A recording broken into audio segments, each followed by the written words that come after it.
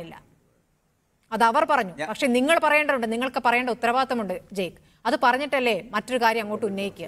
സജീന്ദ്രൻ പറയട്ടെ. സജീന്ദ്രൻ ഈ ജോസി ജോസി എന്ന നേതാവിന്റെ കാര്യത്തിൽ മറുപടി പറയട്ടെ. വേറൊരു ചർച്ചയിൽ സംശയം വേറൊരു എന്താണ് ശ്രീ സജി നന്ദിയാട്ട്? താങ്കൾക്ക് ഇത്ര അക്ഷമ? ശ്രീ സജി നന്ദിയാട്ട് എന്താണ് ഇത്ര അക്ഷമ? ഞാൻ പോവുകയാണ്. ഞാൻ പോവുകയാണ് ചർച്ച നിങ്ങൾ നടത്തൂ. നിങ്ങൾ നടത്തൂ. ഞാൻ പോവുകയാണ്? ഓക്കെ. എന്ത് പറ്റി എന്ത് പറ്റിയെന്ന് പറയാൻ പറ്റില്ല? അരമണിക്കൂർ കഴിഞ്ഞു. അതുകൊണ്ട് എന്താണ് ഒന്നും താങ്കൾക്ക് വരില്ല വിചാരിച്ചോ? അത് കണ്ടോണ്ടിരിക്കുന്നവർക്ക് മനസ്സിലായി എന്ത് അല്ല എന്താണ് താങ്കളുടെ അക്ഷമയ്ക്ക് കാരണം എന്താണ്. താങ്കൾക്ക് അക്ഷമ അക്ഷമനാകാനുള്ള കാരണം എന്താണ്? അക്ഷമനാകാനുള്ള എന്ത് എന്ത് പ്രശ്നമാണുള്ളത്? താങ്കൾക്ക് സഹിക്കാൻ ചർച്ചയ്ക്ക് പറ്റാത്ത എന്താണ് ഇവിടെ വിളിച്ചിട്ട് പറഞ്ഞത്? ചർച്ചയ്ക്ക് വിളിച്ചിട്ട് നിങ്ങൾ കുറച്ച് പേര് തമ്മിൽ സംസാരിച്ചുകൊണ്ടിരിക്കുകയാണ് പിന്നെ നമ്മൾ താങ്കളോട് താങ്കളുടെ അടുത്തേക്ക് വരുമല്ലോ. താങ്കളുടെ താങ്കളുടെ അടുത്തേക്ക് വരുമല്ലോ. വിളിച്ചു വരുത്തുന്നത്? ഞാനങ്ങ് വേണ്ടേ വിട്ടു വിളിച്ചു വരുത്തുന്നത് ചോദ്യങ്ങൾ വേണ്ട, വേണ്ട, ചോദ്യങ്ങൾ ചോദ്യങ്ങൾ ഉള്ളതുകൊണ്ടാണ് വിളിച്ചു വരുത്തുന്നത്. താങ്കൾ ഇറങ്ങി പോകുന്നത് താങ്കളുടെ ഇഷ്ടം. ഒരു മിനിറ്റ് ശ്രീ സജി നന്ദ്യാൽ നിങ്ങളത് താങ്കൾ ഇറങ്ങി പോകുന്നത് താങ്കളുടെ ഇഷ്ടം. അദ്ദേഹത്തോട് ചോദിച്ചോളൂ. അല്ല, അങ്ങനെയല്ല. സമയം തന്നാ മതി. അദ്ദേഹത്തോട് ചോദിച്ചോളൂ.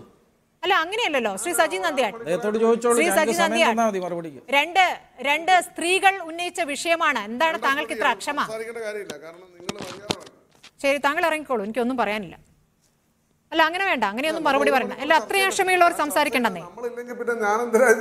ഞാൻ ഇരിക്കുന്നത് വിളിച്ചത് വിളിച്ചത് ചോദ്യങ്ങൾ ഉള്ളതുകൊണ്ടാണല്ലോ ശ്രീ സജിനാഥ് എന്തിനാണ് ഇത്ര യു താങ്കളുടെ ഇഷ്ടം. എനിക്കൊന്നും പറയാനില്ല. ചോദ്യം ഇനി എന്ന് ചോദിക്കാനാ? മൂന്നാം മണി നേരത്തോ? ഓക്കേ, താങ്കൾ ചർച്ചയുടെ സ്വഭാവം. ഒന്നും അറിയാത്തോണ്ടാണ് കുഴപ്പമില്ല കുഴപ്പമില്ല. ശ്രീ സജീന്ദ്രൻ ശ്രീ സജീന്ദ്രൻ. മറുപടി പറഞ്ഞോളൂ. ജോസി സെബാസ്റ്റ്യൻ ഒരു നേതാവിന്റെ പേര് പറഞ്ഞിരിക്കുന്നു. ജോസി സെബാസ്റ്റ്യൻ. മറ്റൊരു ചർച്ചയിൽ ഞാൻ റഹീം പറയുന്നത് കേട്ടു. ശിവദാസൻ എന്നൊരു നേതാവ്. അപ്പോൾ നിങ്ങളുടെ നേതാക്കൾ തന്നെയാണ്. ഒരാൾ യൂത്ത് കോൺഗ്രസിന്റെ നേതാവാണ് മറ്റാൾ മണ്ഡലം പ്രസിഡന്റോ എന്തോ ആണ്. അപ്പോൾ നിങ്ങളുടെ നേതാക്കളെയും നിങ്ങൾ തിരുത്തേണ്ടതല്ലേ? അത് തെറ്റാണെന്ന് പറയേണ്ടതല്ലേ? കോൺഗ്രസിന് ഇതിൽ യാതൊരു പങ്കുമില്ല എന്നാണെന്ന് ചെന്നിത്തല പറഞ്ഞിരിക്കുന്നത്. അങ്ങനെയല്ലല്ലോ അത് അവസാനിപ്പിക്കേണ്ടത്.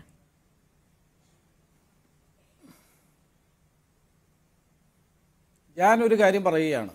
അതായത് ഇതുമായി ബന്ധപ്പെട്ട് ഏതെങ്കിലും ഉത്തരവാദിത്തപ്പെട്ട കോൺഗ്രസിന്റെ ആളുകൾ എന്തെങ്കിലും ചെയ്തിട്ടുണ്ടെങ്കിൽ അവർക്കെതിരെ നടപടിയെടുക്കുന്നതിൽ യാതൊരു തടസ്സവും ഞങ്ങളുടെ ഭാഗത്തുണ്ടാവില്ല.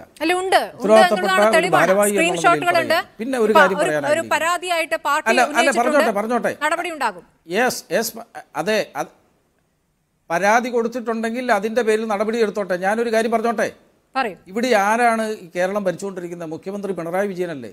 അതുകൊണ്ട് ഈ സൈബർ പോലീസിന്റെ ഡിപ്പാർട്ട്മെന്റ് കൈകാര്യം ചെയ്യുന്ന മുഖ്യമന്ത്രിയുടെ കീഴിലല്ലേ? ഇത് എവിടെ എവിടുന്ന് വന്നു എന്ന് കണ്ടെത്താൻ എവിടുന്ന് വന്നു എന്ന് കണ്ടെത്താൻ അധിക സമയം വേണ്ട അധിക സമയം. ബഹുമാനപ്പെട്ട ജോസ് കെ മാണി എം പിയുടെ ഭാര്യ നിഷ ജോസ് കെ മാണിയുടെ അവരെക്കുറിച്ച് വളരെ മോശമായ രീതി